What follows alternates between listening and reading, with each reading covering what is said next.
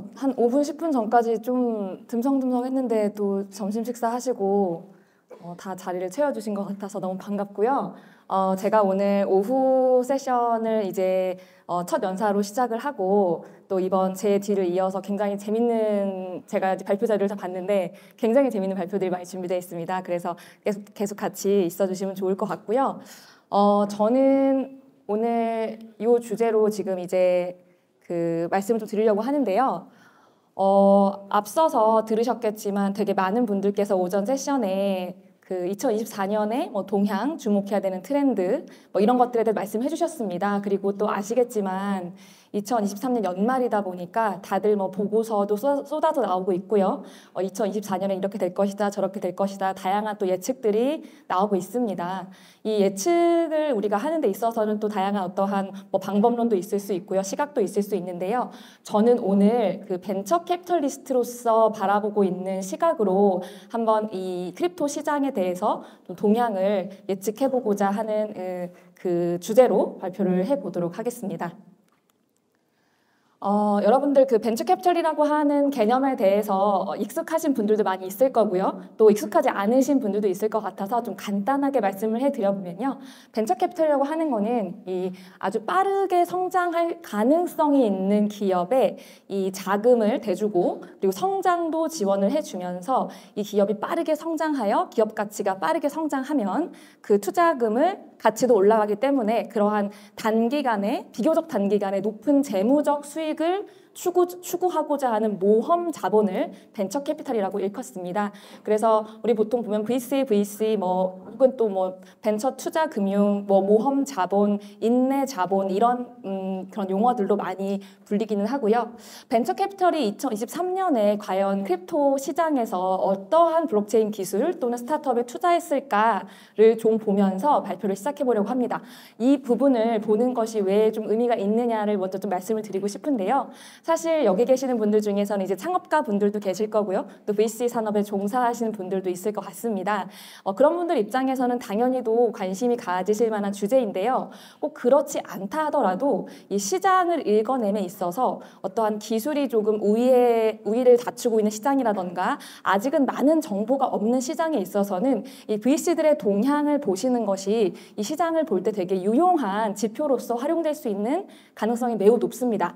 그 이유는 이 벤처 투자자들도 뭐 한 번에 투자할 때 작게는 몇 천만 원에서 많게는 수백억, 수천억의 투자를 하고는 하는데요. 그 돈을 어, 개인들이 자기 돈으로 투자를 하는 건 아니겠죠. 그래서 실제로 뭐 정부라든지 또는 대기업에서 자금을 받아서 펀드라고 하는 돈 주머니를 만들고 이 주머니에서 이제 분산해서 좋은 기업들을 어, 물색해서 투자를 하곤 합니다. 어, 당연히 내 돈이 아니라 받은 돈으로 투자를 하는 거기 때문에 어떤 일정 기간 동안에 투자를 하겠다 약속을 하고 이 기간이 지나면 당신들의 돈을 이만큼의 이유를 더해서 돌려드리겠습니다. 라고 하는 약속을 하고 하는 투자예요. 그러다 보니까 무조건 돌려줘야 되고요. 이 돌려준다라는 말은 뭐냐면 VC가 투자하는 종목들은 혹은 투자하는 기술들은 투자하는 회사들은 적어도 이 특정 기간 안에 분명히 성장할 것이다라고 VC가 생각을 한다는 거죠. 보통 VC들이 투자를 하고 나서 회수에 이르기까지 적게는 3년에서 많게는 5년 정도를 잡습니다. 그러다 보니까 우리가 VC들이 어떠한 투자를 지금 하고 있는가를 보면 아, 이 모험 벤처 투자 금융을 지금 하고 있는 사람들은 이 돈을 굴려서 3년, 5년 또는 조금 더 장기적으로 10년 후에는 이 scene이 혹은 이 industry 혹은 이 기술이나 이 기업들이 성장을 많이 할 것이다 라고 생각한다는 거죠. 그렇기 때문에 이 VC들의 투자 동향을 바라보는 것이 우리가 꼭 스타트업 아니더라도 또 VC에게 투자를 받지 않더라도 시장을 보실 수 있는 좀 좋은 지표가 될 것 같아서요. 그래서 오늘 좀 준비를 해보았습니다. 어, 먼저 이 그래프를 좀 보여드리도록 할게요. 사실 그 오늘 보여드리고 말씀드리고 싶은 것들이 되게 많은데 시간이 이제 한정되어 있기 때문에 그 중에서도 아주 의미 있는 것들만 좀 뽑아보았습니다. 일단 이 그래프는 여기 2016년 1분기부터 2023년 3분기까지의 분기별로 벤처 투자 금액이 crypto라고 하는 이 시장으로 들어온 금액의 양 또는 어, 건수 VC 딜이라고 하죠. 그래서 이 그래프 지금 선으로 나와 있는 것들은 몇 건의 투자가 있었는가 하는 부분이고요. 이 파란색으로 된 막대 그래프는 얼마나 많은 양이 투자되었는가입니다. 뭐 비슷하게 어, 비례를 합니다. 그러면 있어서 보시면 상당히 그래프 모습이 우울합니다. 어, 아시겠지만 2021년, 2022년 초까지의 불장을 기점으로 해서 쭉쭉쭉쭉쭉 떨어지고 있고요. 지금 저 떨어지고 있는 모양새가 2023년 4분기에도 더 떨어질지 아니면 지금 바닥이고 올라갈지를 알 수가 없습니다. 그래서 우리는 이걸 보면 아, 시장이 안 좋구나 라고 하는 생각을 단편적으로는 하게 되는데요. 저는 여기서 조금 다른 부분들을 좀 보고 싶습니다. 어, 뭐냐면요. 여러분 그 여기 계시는 분들 아마 이전 우리 배어장을 기억하실 것 같은데요. 2000 그 언제였죠? 18년을 기점으로 해서 2019년부터 20년까지 쭉 하고 우리가 굉장히 고통을 겪었던 배어장이 있었습니다. 당시의 그래프가 바로 어 여기 아주 바닥에 지금 바닥을 찍고 있는 요 지금 한 4분기, 5분기, 6분기 정도인데요. 저때 지표를 보시면 아시겠지만 그리고 그 당시를 기억하시는 분들은 아시겠지만 그 당시에 bear장에는요. 사람들이 모두 떠났습니다. 떠났다는 말은 뭐냐면요. 자본도 떠나고 인재도 떠나고 기업들도 떠났습니다.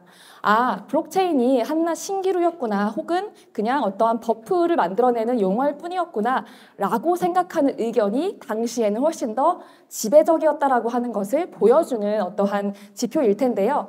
그런데 여러분 지금 보시면 이미 지금 저희 1년이 넘게 배어장을 겪고 있음에도 불구하고 기존의 지난번 마지막 대여장에 있어서의 그런 지표 근처도 가지 않고 있습니다. 이 말인즉슨 이 모험 금융 자본들이 아 블록체인이 이제는 어느 정도 산업의 테두리를 형성하였고 이 모습을 갖추었고 이 배어자에 끝나고 나면 다시금 이 기술들이 무언가 재정비를 하여 다시 도약할 수 있는 계기가 분명히 있을 것이다 라고 하는 이 시장의 믿음, 금융의 믿음, 자본의 믿음 같은 것들을 좀 보여주는 이 비교할 수 있는 지표가 아닐까라는 생각이, 생각이 들어서요. 그래서 일단 첫 번째 이 그래프를 좀 보여드렸습니다. 어, 더불어서 제가 그 기승전결로 마지막 그래프를 요거랑 비슷한 것들을 한번 보여드릴 텐데요. 그때를 위해서 이 그래프를 한번 잘 기억을 해주시면 좋을 것 같아요. 두 번째로 제가 이제 그 준비한 좀 중요하게 봤으면 좋을 만한 것들은 산업 sector에 대한 부분입니다. 어, 요첫 번째 나오는 그림은요. crypto VC들이 어, 카테고리 별로 별로 얼마나 많은 투자를 했는가이고요. 여기서는 건수로 이제 지금 구분을 해놓은 겁니다. 자, 이 카테고리 그 투자금의 양이랑 투자의 건수를 이렇게 계속 구분해서 보는 이유는요.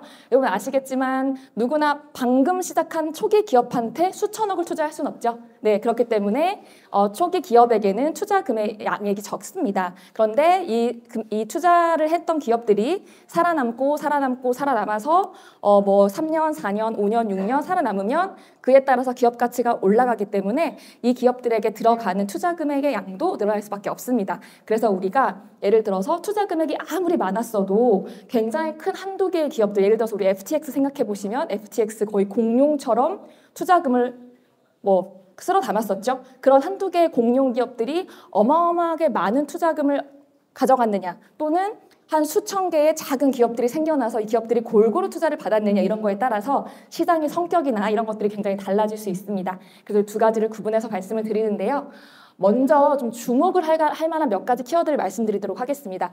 이 건수별로 별로 봤을 때에 지금 지금 지난 한 1년 반 동안 가장 많은 투자를 받고 있는 이 sector가 바로 이 black에 해당되는데요. 이 black sector가 바로 여러분한테 굉장히 익숙하신 단어이고요. 이번에 우리가 이번 세션에서 쭉 앞으로 연사님들께서 발표해 주실 세션과도 연관이 있는 Web3, 그 다음에 NFT, DAO, 메타버스, 게임 관련된 영역입니다. 여러분 우리 그런 말씀 되게 많이 들으셨잖아요. NFT는 죽었다. NFT는 뭐 거품이었다. 뭐 DAO도 DAO에 대해서도 아직까지 구, 작년에 굉장히 어떠한 그런 관심을 받았던 것과는 별개로 여러 가지 어떤 그런 그 buzz가 많았다라고 하는 의견도 되게 많으실 거고요. 메타버스 마찬가지죠. 이 소비자들의 생각에서는 또는 어떠한 뉴스로서 데이터를 접하시는 분들의 입장에서는 이런 NFT라든지 Web3, DAO, 메타버스 게임도 마찬가지죠. 우리 Web3 게임이나 뭐 P2E 같은 것들 다 뭐 한국을 떠났다, 한국에서 할 수 없다 이런 얘기들 굉장히 많습니다. 그래서 어, 저 섹터들은 그냥 진 거 아니야? 어, 저 섹터들은 지금 뭐 이미 거품 다 빠지고 나갈 사람들 다 나간 거 아니야 라고 생각하실 수 있는데요. 그런데 3년 후, 5년 후, 10년 후를 보는 VC들은 꾸준히도 계속해서 특히나 이 불장 내내 가장 많은 건수들을 해당 영역에 투자를 하고 있습니다. 많은 건수를 투자했다는 것은 아까 제가 초반에 설명드렸던 것처럼 이 섹터들에 해당하는 곳들이 초기 기업이란 뜻하고도 연결이 됩니다. 그래서 우리가 웹3나 NFT나 다오 같은 것들이 지금 아시겠지만 뭐 나온 지 얼마 안 된 개념들이기 때문에 물론 이제 이 단어들은 옛날부터 나왔었죠. 그런데 이제 우리 우리한테 하입을 어, 가져오기 얼마 안 된 단어들이기 때문에 당연히도 이러한 주제어들을 가지고 지금 시작하는 스타트업이나 기술 기업들은 한 살, 두 살, 세 살 정도이고요. 이제 이 기업들이 VC들의 투자를 받으면서 어, 자신들이 어떠한 도약을 준비하거나 어, 이러한 그 상, 시장에서 여러 가지 좀 그 대비를 할 준비들을 하고 있다라고 좀 보시면 좋을 것 같습니다. 그럼에도 불구하고 우리 NFT 투자하거나 막 돈 엄청 많이 잃으신 분들 많잖아요. 그런 분들한테 이제 제가 이런 데이터 보여드리면 굉장히 부정적 으로 반응을 하시더라고요. 두 번째, 많은 그 금액으로 이제 많은 투자를 받은 sector는 어디냐라고 봤을 때요 여기 아래에는요, 요번에는 그 trading 영역입니다. 돈을 가장 많이 투자를 받는 영역은요, trading, exchange, 그 다음에 lending, 요, 요런 부분들인데요. 여러분들 익숙하시겠지만 이런 것들 다 DeFi 영역하고 연결이 되어 있는 거고요. 어, crypto 블록체인이 나왔을 때 가장 초기에 그나마 어, 활용도, 사용성 혹은 유저들을 끌어들였던 그러한 영역들입니다. 거래소 가장 오래된 사업 모델이죠. 그러다 보니까 이들은 지금 살아남은 경우에는 뭐 갑자기 사라진 곳들도 있죠. 네, 살아남은 경우에는 지금 무럭무럭 커서 이제는 later stage 우리가 보통 뭐 시리즈 C, D, E라고 하는 later stage까지 성장을 하였고 그렇기 때문에 기업 가치가 굉장히 많이 상승했고 그에 따른 투자금도 많은 투자금을 받고 있다 이렇게 생각해 주시면 좋을 것 같습니다. 그런데 여기서 또 다른 하나 재밌는 것이 3분기에 발견이 됐어요. 이게 뭐냐면요. 바로 제가 키워드로도 적어 두었고 오늘 우리가 토론에서도 좀 다뤄보려고 하는 주제인데요. 바로 AI입니다. 어, AI가 나오면서 블록체인이 분야가 신음을 하고 있어요. 현실적으로. 왜냐, 블록체인으로 오던 R&D 자금들, 뭐, 과기부에서 나오던 것들 다 이제 AI에게 다 자금이 뭐 간다든지 이런 방식 블록체인의 예산을 줄인다든지 이런 아우성들을 제가 많이 듣고는 하는데요. 사실 저는 블록체인과 AI가 굉장히 공통점을 많이 가지고 있고 이 Web3라고 하는 세상을 형성해 나가는 데 있어서의 두 가지 축으로서 작용을 할 것이라 생각을 하고 있습니다. 뭐 두 개는 사실은 두 진영 다 오픈 소스라고 하는 철학에 굉장히 많은 어떤 그런 그, 어, 그, 키, 뭐, 그 오픈 소스를 지향하는 그런 모습도 있고요. 두 블록체인과 AI 모두 개인을 empowering 하겠다. 개인을 지지하겠다. 개인에게 더 많은 권한을 주겠다라고 하는 어떠한 그런 그 지향점도 가지고 있습니다. 그런데 아니나 다를까 3, 3분기에 처음으로 등장했어요. 이 파란색 부분입니다. 파란색 부분이 아직 미미하기는 한데요. 3분기에 처음으로 블록체인의 sub sector로서 AI의 crypto 투자자들이 투자를 시작하고 있습니다. 사실 블록체인과 AI로 선두를 달리고 있는 기업들 몇 개 있습니다. 여러분들 아시는 Nansen 같은 곳들도 있고요. 여러 가지가 있는데 이제는 그러한 데이터를 단순히 이제 블록체인의 데이터를 AI를 통해서 어떤 뭐 processing 하거나 여기에 데이터에 inferring을 하거나 하는 것에서 넘어가서 훨씬 더 다양한 영역에서 지금 블록체인과 AI가 만남을 가지고 있습니다. 그것을 아마 Delysium에 이따 발표회 들으시면서 더 느끼실 수 있을 것 같고요. 그래서 이러한 AI가 앞으로 열어가고 있는 이러한 기회들이 crypto 영역에서도 지금 찾아오고 있다라고 하는 말씀을 또 드릴 수 있을 것 같아요. 또 다른 제가 주목하고 있는 이, 이 슬라이드인데요. 요거는 뭐냐면 이 슬라이드 제목은 그거예요. 그 스타트업 투자들이 투자를 제일 많이 받, 그러니까 투자를 받은 스타트업들이 어느 나라에 있습니까? 라고 하는 데이터입니다. 여기 보시면 압도적으로 시꺼먼 데가 어디죠? 미국이죠? 네, 미국입니다. 그런데 이 지표로 보면 미국이 한 35%를 차지합니다. 전 세계 투자를 받은 스타트업들 중에. 그런데 지금 35%이냐를 저는 이제 주목하지 않고 있고요. 이 경향을 좀 보면 좋을 것 같습니다. 어, 이번 연도 초에 미국 SEC를 필두로 해서 뭐 사실 리플하고의 전쟁은 그보다 더 오래되긴 했지만요. 가시적으로 계속해서 미국이 어떠한 그런 그 crypto 스타트업들이 어, 미국에서 사업하기에 좋지 못한 환경을 만들고 있는 어떤 소식들이 굉장히 자주 들려왔었습니다. 당시에 많은 어, 많은 분들끼리 서로 모여서 그런 예측을 했었어요. 이렇게 되면 미국에서는 사업을 할 수 없을 텐데라고 한 예측을 많이 했습니다. 실제 미국이 현재 35%로 여전히 주도권을 가지고 있지만 어, 사실 미국은 주도권이 50% 이상이었었어요. 그런데 이것이 급격하게 지금 줄어들고 있다라고 하는 것이 어, 우리가 지금 봐야 되는 테이크어웨이라고 저는 생각을 하고 있습니다. 그러면 이 줄어든 곳들이 어디로 가느냐도 봐야겠죠. 제일 많이 간 곳은 영국이나 프랑스 같은 유럽권들 그리고 중동도 많이 가고 있고요. 그리고 중국이라든지 이런 곳들도 당연히 그 자생 또는 외부에서의 어떠한 것들을 받아들이는 활발한 생태계를 갖춰나가기 위해서 노력을 하고 있는 곳들 이런 곳들로 지금 유의미한 어, 유입이 나타나고 있습니다. 여러분 유럽이나 중동 같은 경우는 지금 들으셔서 아시겠지만 어떤 공통점이 있죠? 그리고 싱가포르도 많이 갑니다. 네, 싱가포르까지 해서 어떤 공통점이 있죠? 그 그렇습니다. 그 규제를 조금 더 투명하고 혹은 규제를 없애주는 것이 아니라 가시적으로 게임의 룰을 제공해주고 자 이게 룰이니까 룰 안에서 노세요라고 하는 곳들입니다. 그죠? 특히나 중동 두바이 같은 경우에는요. 어, 거의 한 지난 2016년부터 해서 이제 crypto 국가가 되겠다라고 선언을 하고 나서 지금 어마어마하게 빠른 속도로 성장을 하고 있는데 이들이 crypto 관련 regulation을 만드는 과정들을 들어보면 정말로 기업을 데려다가 그 기업이랑 같이 머리를 싸매고 실제로 정말 기업들이 사업을 할 수 있는 환경을 구축을 하고 있습니다. 이러한 곳들로 기업들이 빠르게 이동을 하고 있다. 과연 한국은 지금 어떻게 하고 있는지 이것좀 안타까운 부분이긴 하고요. 이러한 것들을 좀 공유를 드리고 싶었습니다. 어, 그러면 우리가 이런 좀 그 여러 가지 데이터들을 좀 봤는데요. 우리가 그럼 2024년에 벤처 캐피털리스트의 입장에서 봤을 때에 좀 주목하시면 좋을 만한 부분들을 몇 가지 말씀을 드리고 발표를 제 발표는 마치도록 하겠습니다. 어, 먼저 우리 지금까지 매번 그런 말 많이 했어요. mass adoption, mass adoption, mass adoption 해야 된다. 이런 말 정말 많이 했죠. 그죠? mass adoption 하는 서비스가 아직 나오지 않았기 때문에 이 블록체인은 아직 크지 못하고 있어. 자기들만의 리그로 전락하고 있어. 이런 말들 많이 드리는데요. 사실 mass adoption은 정말 정말 나중의 이야기고요.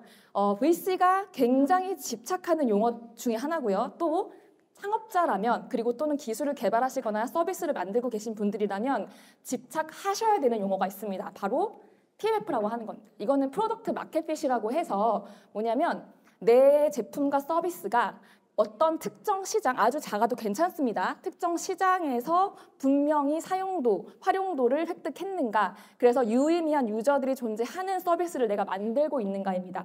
우리 새로운 어려운 기술들을 계속해서 그 개선해 나가고 새로운 것들을 발견해 나가는 일도 굉장히 중요합니다. 연구소에서 진행되는 일들이죠. 하지만 우리는 지금 유저를 상대해야 하고 유저를 모아야 되는 입장이기 때문에 이 product market fit을 항상 고민을 하면서 내가 어떤 시장을 그러면 좀 try를 해보고 싶지 어떤 시장을 시험해보고 싶지라고 하는 생각들을 하셔야 되는데 우리가 계속 mass adoption에 경도돼 있었던 부분이 많았던 것 같아요. 이러한 그 2024년에는 결국에는 PMF를 먼저 찾는 기업들이 아마도 VC들에게는 굉장히 반가운 투자 대상이 될 것이다. 이런 말씀들을 좀 드리고 싶고요. 두 번째는 이겁니다.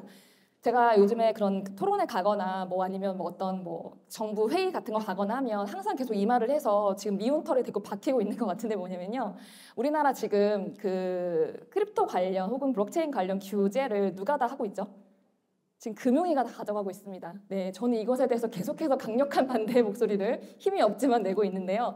어, crypto는 금융과 맞닿아 있고 굉장히 중요한 어, 연관관계가 있는 것은 맞습니다. 그리고 우리 오전에도 이 금융과 관련해서 되게 좋은 얘기들이 많이 들었죠. 그런데 아시겠지만 블록체인 기술은 금융으로 한정되지 않습니다. 훨씬 더 많은 영역, 많은 산업 분야, 많은 활용도를 가질 수가 있고요. 그것은 공공의 영역부터 시작해서 어떤 여러 가지 우리 ESG 영역에 이르기까지 상당히 많은 분야에서 활용될 수 있는 기술입니다. 그런데 이 기술 자체에 대한 이해도가 부족한 분, 그 부처에서 이 crypto와 블록체인 관련 regulation들을 모두 관할했을 때 가져오는 문제점들이 저는 상당할 것이라고 보고 있습니다. 한국만 이런 상황은 아니고요. 미국 같은 경우에도 지금 계속해서 이 블록체인 업계하고 맞닿고 지금 뭔가 갈등을 일으키고 있는 곳은 어디죠?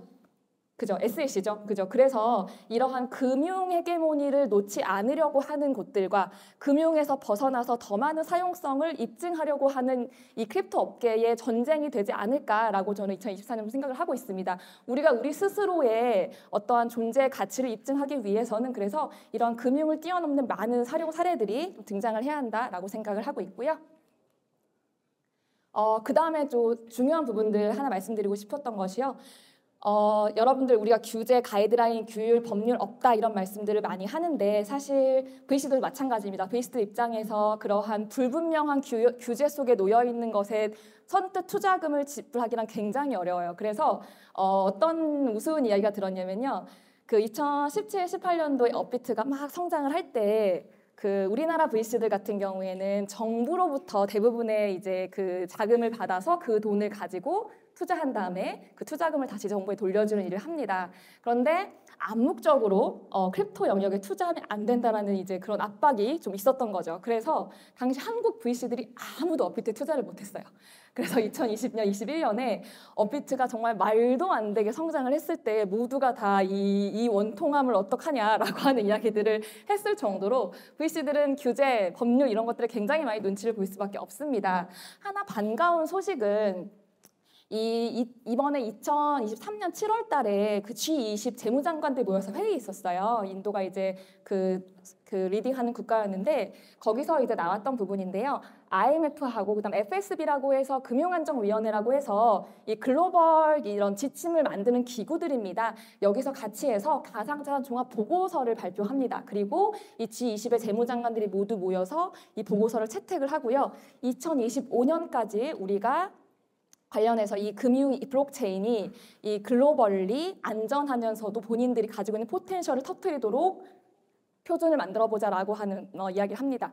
여러분 사실 저는 비트코인 얘기할 때 비트코인 탄생은 굉장히 ESG적이다라고 말씀을 많이 드립니다. 왜냐, financial inclusion이라고 해서 어떤 금융 소외된 계층들이 엄청나게 많은 혜택을 받았던 것이 비트코인이기 때문인데요. 그래서 비트코인은 날 때부터 저는 ESG적인 의도와 성향을 가지고 태어났고 그리고 cross-border적으로 굉장히 많은 기여를 하고 있다 이런 말씀들 드리고는 하는데 이러한 그 여러 가지 가지고 있는 우리의 potential들이 잘 터지기 위해서는 여기서 이렇게 얘기하더라고요.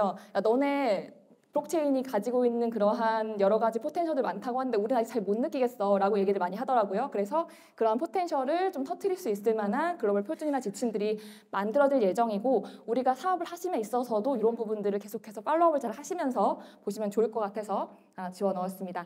마지막으로는 AI랑 시너지입니다. 그래서 말씀드렸던 것처럼 AI하고 블록체인은 사실은 서로 경쟁이나 적대 관계라기보다는 서로 시너지를 낼 수 있을 만한 어떤 공생 관계에 충분히 갈 수 있을 거라고 여겨지고요. 뭐 저도 지금 블록체인 회사를 또 하나 운영을 하고, 있, 하고 있기도 한데 저희 회사 자체도 AI에 굉장한 많은 어떠한 그런 그 관심과 그리고 이를 어떻게 하면 활용할 수 있을까에 대한 많은 고민들을 하고 있습니다. 그래서 이 AI하고의 시너지 그리고 블록체인 사업을 이미 운영하시는 분들도 AI를 어떻게 활용할 수 있을지 또는 반대로 AI에 속해 있는 이러한 이미 성숙한 기업 기업들이 블록체인을 가지고 어떻게 하면 좀 Web3의 영역으로 확장할 수 있을지 이런 부분들에 대한 많은 실험과 도전이 2024년에 펼쳐질 것이라 좀 기대를 하고 있는 상황입니다. 네. 이렇게 그 제가 한번 짚어보면 좋을 만한 네 가지 키워드를 좀 그 말씀을 드려봤고요. 마지막 슬라이드입니다. 요거 처음에 봤던 슬라이드랑 비슷하게 생겼는데요. 같은 슬라이드는 아니고요. 이거는 뭐냐면 어, 아까 말씀드렸죠. crypto 펀드들도 자기가 돈으로 투자할 수는 없기 때문에 더 돈이 많은 정부나 혹은 대기업한테 돈 받아 투자한다고 말씀을 드렸죠. 그래서 이거는요. 새로운 crypto 펀드가 생성되고 있는 것에 대한 지표입니다. 아까 우리 그 만들어진 펀드에서 투자하는 자금이나 건수에 대해서는 아직도 계속 내려가고 있는 모습을 보여드렸었어요. 그런데 지금 새로 만들어지고 있는 crypto VC 펀드 같은 경우에 어떠죠? 지금 3분기에 반등을 했습니다. 네, 이게 뭐 단순 반등으로 그칠지 아니면 올라갈지는 지켜봐야 될 것 같지만 이 시장에서 아까 일, 그 1번 슬라이드 보여드리면서 말씀드렸던 것처럼 시장에서 이 scene에 대해서 앞으로 장기적으로 바라보는 view나 시각이 그리고 가장 민감한 자본을 다루는 사람들의 시각이 결코 어, 비관적이지 않다. 그래서 계속해서 여기에 대한 희망들이 좀 남아있고 그것이 성장하고 있다는 것을 보여주는 슬라이드가 될 것 같아서 마지막으로 좀 준비를 해보았습니다. 그래서 제가 오늘 그 준비한 슬라이드 여기까지고요. 계속해서 많이 지켜봐 주세요. 감사합니다.